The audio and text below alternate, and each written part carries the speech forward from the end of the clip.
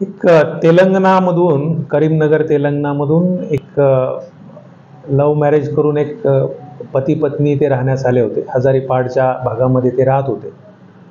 आणि त्यांनी तिथे प्रेमविवाह केल्यानंतर संबंधित पोलीस स्टेशनला माहिती दिली होती. त्यांच्या पालकांना कळवण्याबाबतही त्यांनी सांगितले होते.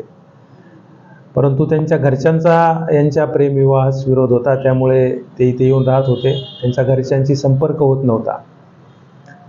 तर दोन दिवसापूर्वी संध्याकाळी सात वाजेच्या दरम्यान ज्यावेळेस ती मुलगी तिच्या कामावरून घरी आली पतीसह घरी आली आणि त्यांची गाडी बिल्डिंगमध्ये लावून किराणा दुकानामध्ये काही सामान घेण्यासाठी गेले तेव्हा त्या मुलीचे वडील त्याचे काका आणि नागपूर स्थित त्यांचा एक मित्र अशा तिघा जणांनी तिला बळजबरीने गाडीमध्ये बसून इथून ते तिला घेऊन गेले होते.